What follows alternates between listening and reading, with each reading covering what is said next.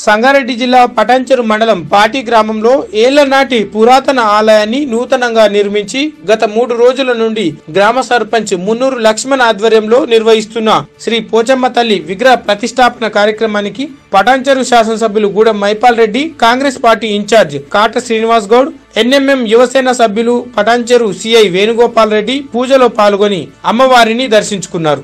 ఈ సందర్భంగా ఆలయంలో ప్రత్యేక పూజలు నిర్వహించారు. అనంతరం గ్రామ ప్రజా ప్రతినిధులు పుర ప్రముఖులు ఎమ్మెల్యేను ఘనంగా సన్మానించారు. ఈ సందర్భంగా ఎమ్మెల్యే మాట్లాడుతూ పోచమ్మ తల్లి దీవెనలతో ప్రజలందరూ ఆయుర ఆరోగ్యాలతో చల్లగా ఉండాలని కోరుకున్నట్టు తెలిపారు. ఆలయం అభివృద్ధికి తను అన్ని విధాల సహకారం అందిస్తామని తెలిపారు. ఈ కార్యక్రమంలో గ్రామ సర్పంచ్ మున్నూరు లక్ష్మణ్ ఎంపీటీసీ సునీత గోపాల్ ఉప సర్పంచ్ వార్డు సభ్యులు మరియు గ్రామస్తులు తదితరులు పాల్గొన్నారు.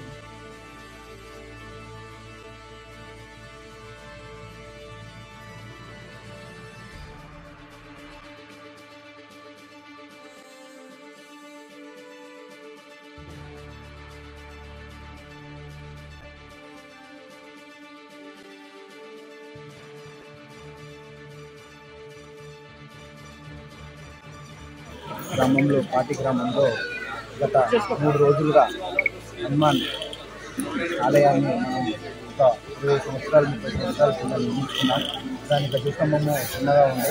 మరియు గోపురం లేకుండా ఆ గోపురము గజస్తంభము మరియు కలశము నిర్మించుకోవడం జరిగింది. మరియు ఆలయాన్ని రీడిజైనింగ్ చేసుకొని చాలా బ్రహ్మాండంగా మేము తీర్చిదిద్దుకున్నాము మరియు మన ఊర్లో గజ గొడ్రాయి జాగా గుడ్రాయి చాలా చిన్నగా ఉండే హైట్ తక్కువ ఉండే కాబట్టి గుడ్రాయి మీద రీనిర్మాణం నిర్మాణం చేసుకోవడం జరిగింది. ఇవన్నీ ఈ మూడు రోజుల కార్యక్రమంలో గత రెండు రోజులుగా ఈ రెండు నిర్మించుకోవడం జరిగింది. ఈ రోజు మన పోచమ్మ దేవాలయం అమ్మవారి గుడి ఒక అరవై సంవత్సరాల గుడి ఇది.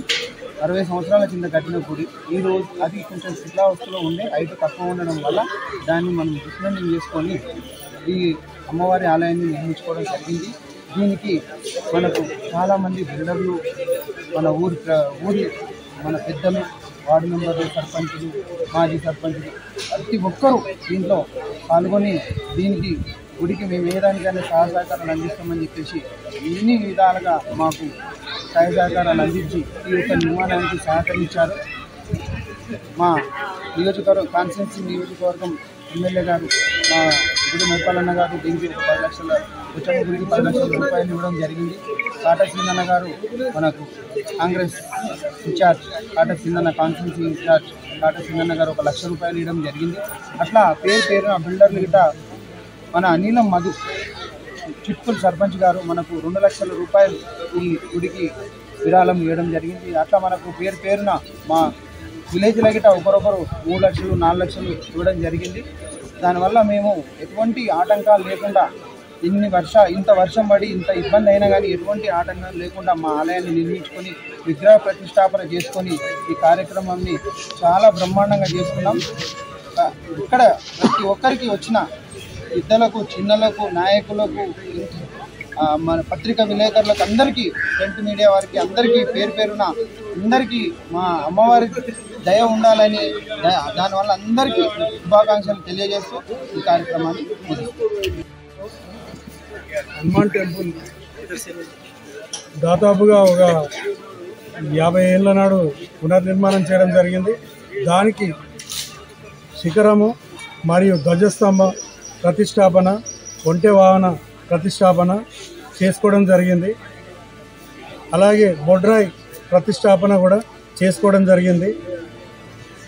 ఈ కార్యక్రమం బుధవారం నుంచి స్టార్ట్ అయింది మన పోచమ్మ గుడి అమ్మవారు అమ్మవారి గుడి దాదాపుగా ఒక వంద సంవత్సరం నాడు కట్టిన గుడి.